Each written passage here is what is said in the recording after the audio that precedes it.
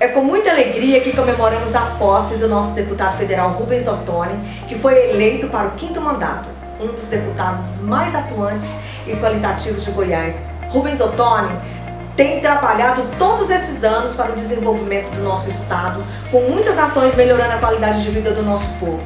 Temos a, a mais alta estima e admiração por esse parlamentar que realmente nos representa um homem trabalhador, inteligente, experiente, capacitado, ético, que conhece e que anda todo o nosso estado, dialogando com os mais diversos segmentos da sociedade e sempre com um olhar que prioriza e que se preocupa com quem mais precisa. Quero ressaltar aqui a importância da renovação e o compromisso desse mandato como ferramenta na defesa das causas do, e de interesse do povo mais simples, humilde e trabalhador.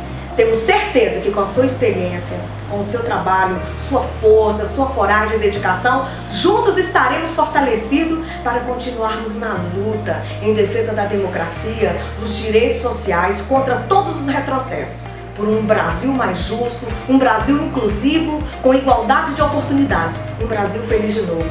Parabéns, deputado Rubens Ottoni, por essa vitória. Por mais essa vitória, a sua reeleição é a consolidação da vontade do povo.